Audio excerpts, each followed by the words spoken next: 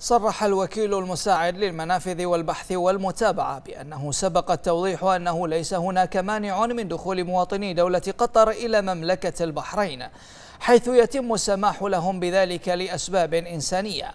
وأضاف أن الأشخاص القطريين الذين تم استيقافهم على منفذ جسر الملك فهد لم يتبعوا الإجراءات التنظيمية المطلوبة عند الدخول والممثلة في الحصول على الموافقة عبر التسجيل في الموقع الإلكتروني المخصص لذلك.